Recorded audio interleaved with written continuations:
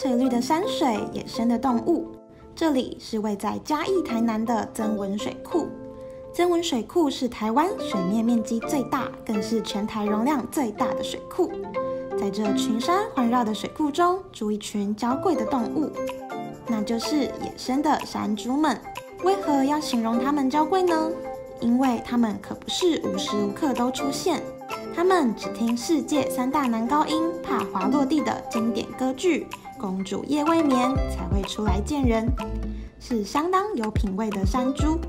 前往山猪岛需要搭乘游艇，在搭乘游艇之前，民众必须先走下一段三百多阶的阶梯乘船。搭上船后，我们就即将出发前往山猪岛。在行驶的过程中，导览员会一一介绍曾文水库相关知识以及生态环境。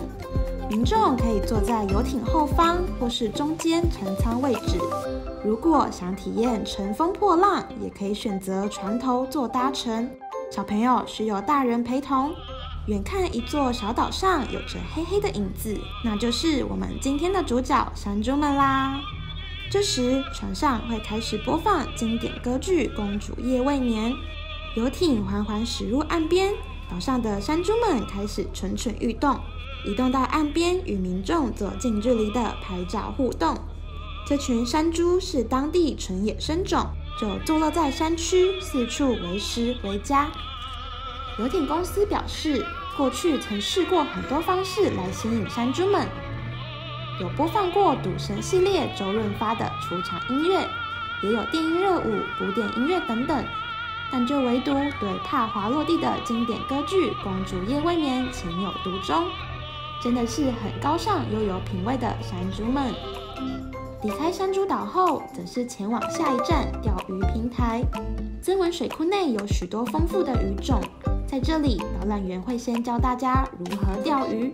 民众在听完解说后，就可以自己下去体验钓鱼的乐趣。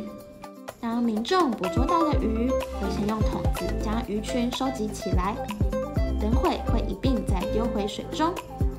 在钓鱼的过程中，你会看见许多老鹰在空中盘旋，它们也是等待捕捉猎物的时刻。当民众捕捉上来的鱼全部一洒水，这时你会看到大批的老鹰。用迅雷不及掩耳的速度俯冲直下，瞬间抓鱼，可以说是很近距离观赏老鹰觅食秀，也成为赏鸟人士爱拍照的景点。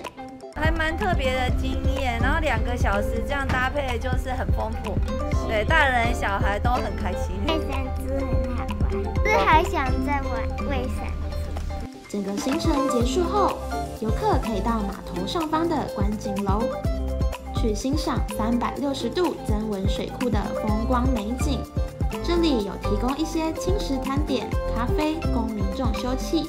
这么丰富又充满自然生态的行程，可以说是最佳户外教学。